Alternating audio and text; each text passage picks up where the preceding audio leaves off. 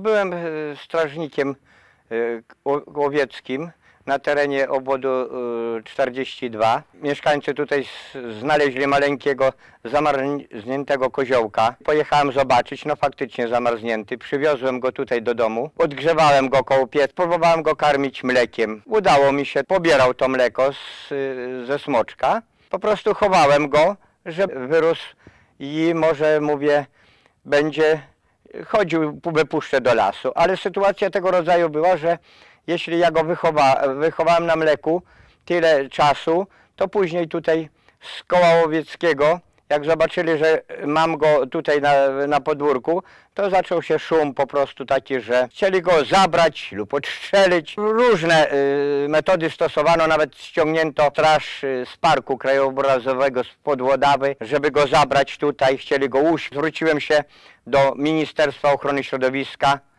z pismem, żeby ten koziołek pozostał na e, moim podwórku, ponieważ został przeze mnie wychowany, jak i sarenka została wychowana przeze mnie, gdzie matkę psy zagryzły. Minister ochrony środowiska przysłał pismo do mnie w ciągu dwóch tygodni do starosty, że zwierzyna ma pozostać czy w moim gospodarstwie. Ten koziołek żył 14 lat. Poroże zgubił, to se chodził po podwórku. Jak miał poroże, to był, takie miał zagrodę ze względu na to tutaj na dworze pod świerkami, bo był groźny, przeważnie dla osób obcych.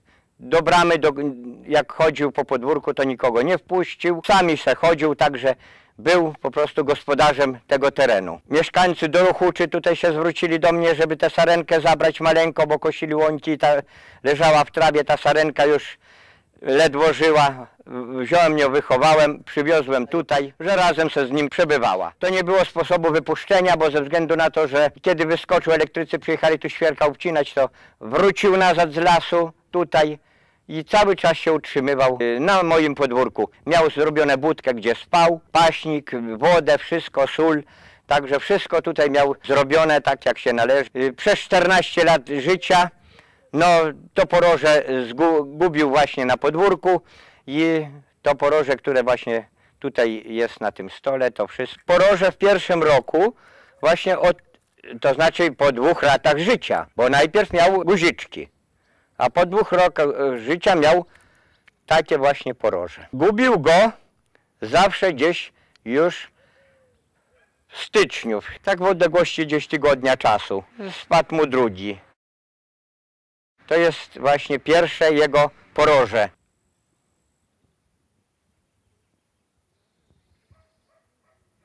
Drugie poroże było już ładne.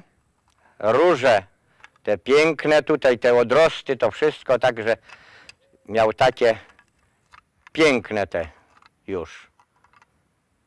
To jest właśnie je, je, jego już następne lata życia.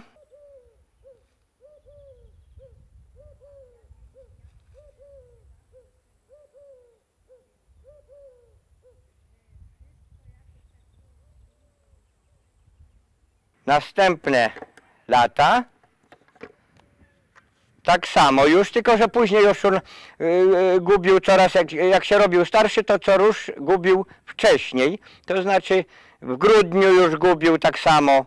O, tutaj ma właśnie ładne te róże, to wszystko, o tak wygląda. To były jego dwa, trzeci, czwarty, piąty, piąty rok, szósty rok życia, o to był, właśnie miał następne takie poroże. Miał śliczne, ładne na ten, wszystko takie, takie kujące, aż takie, te róże piękne miał.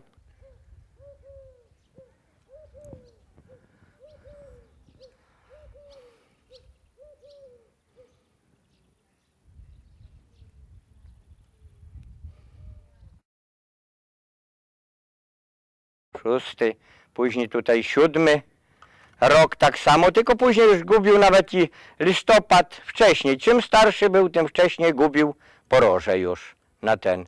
Tak miał tutaj różne takie właśnie odrosty, różne.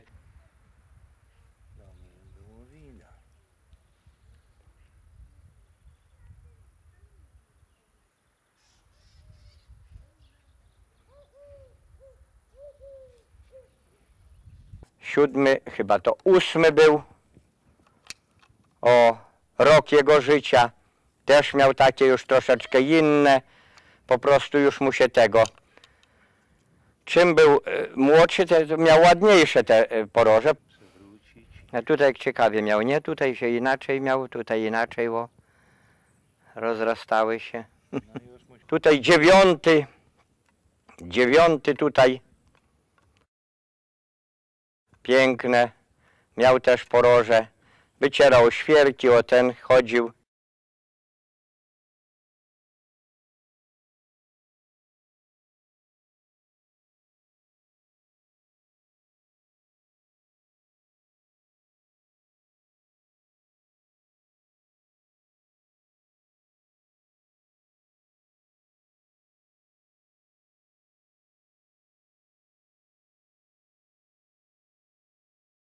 Dziesiąte.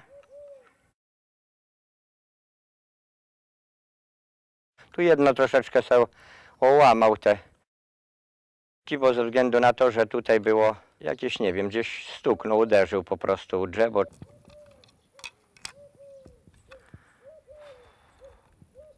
Tak, tutaj trzeba będzie ich jeszcze po tego, bo to było prędko, prędko.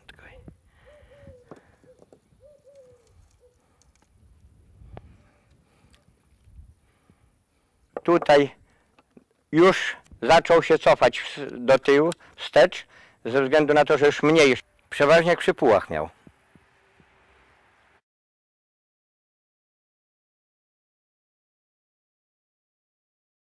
I później, jak już był bardziej już starszy, to robiły mu się już całkiem małe.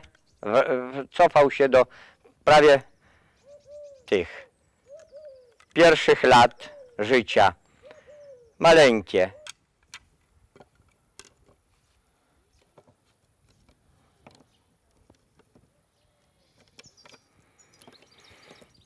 I ostatnie, które już właśnie zostały przy nim, to zostały już takie puste, już takie niekształtne, już takie, widać było, że się cofie do tyłu, ponieważ już y, nie gubił tej, nie zmieniał koloru po prostu już zimowego na letni, bo, bo już zaczynał właśnie te przeżuwacze, bądź zaczęły nie, nie pracować, już co zjadł, to już tak się zachowywał inaczej troszeczkę.